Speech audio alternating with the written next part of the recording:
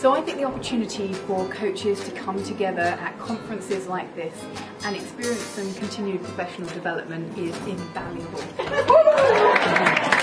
I'd highly recommend all coaches working in the southwest area and beyond and come and attend these conferences because I think they're a brilliant provision. So, well, you know, do the people you're working with have one of these? And most of the time people say yes, you know, they do have one of these. So I know the opportunity to, to dive into these different ways of thinking is something that a lot of coaches really value. The coaching pool is really good on a personal level as a coach, because I can connect with other coaches, it just broadens the world a little bit, whether you're a coach or a mentor, and gives you a chance to see things from a different